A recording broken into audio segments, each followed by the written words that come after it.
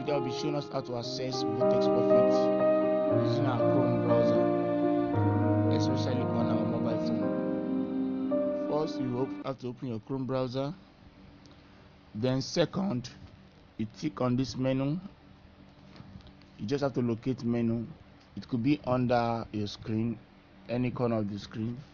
But from our mobile phone, I'm going to tick from here. Then you click on settings. I scroll down to settings you tap the settings option then um, scroll down to privacy. After selecting privacy you move down until you see clear browsing data. Now I've clicked clear browsing data. Now you have to note something here. You don't just tick all the boxes and clear data. You have to select option here. That is you want to clear data from either past an hour okay past hour past day past week four okay last four weeks or the beginning of time i would suggest and advise you select beginning of time okay?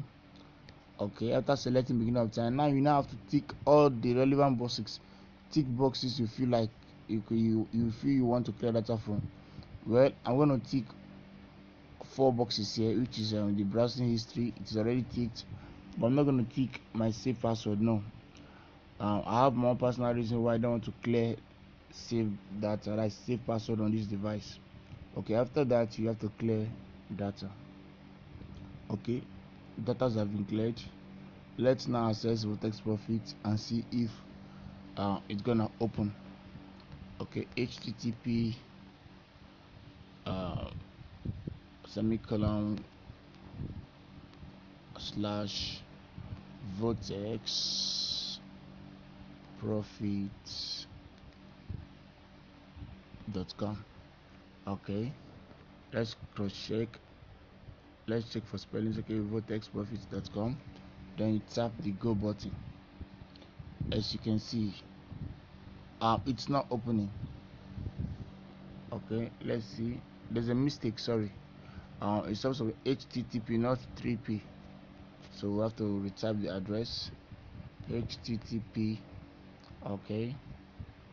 Um, semicolon okay slash vortex vortex profits dot com. Okay i guess we don't have any um, mistake here.